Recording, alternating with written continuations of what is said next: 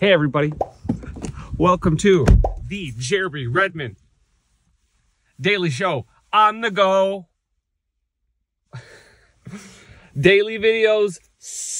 I'm trying, I'm trying, I'm trying. Anyway, Dave, scissor, scissor. Don't scissor, scissor that. Randomly met with a couple of investors out in the last couple days. So did a couple traveling. Did a couple traveling. Yeah. I met with an investor. Um, this was like maybe that was like a week ago or whatever. And it was through a warm introduction. And they said, Hey, can you get us? It was like, so the second meeting, I think, and a warm introduction. Hey, can you get us your cap table and your financial statement and your something else? And I was like, Yup, I'll send that to you right away. I sent it to them within 15 minutes of that call. Speed, right? Speed. And then they're like, it goes for like a week and a half.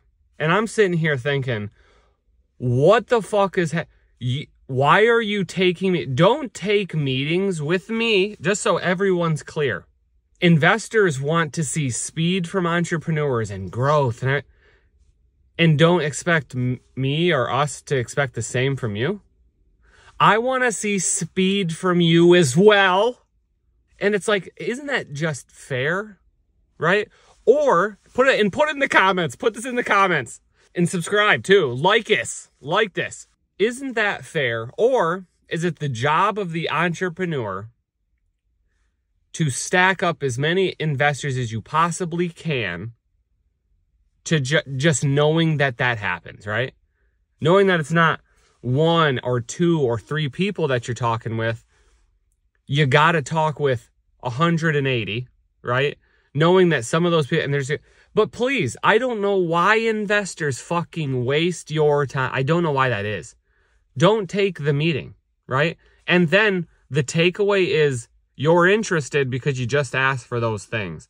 I get you those things and you do nothing with them for a week and a half. Why the fuck? Why would you ask that?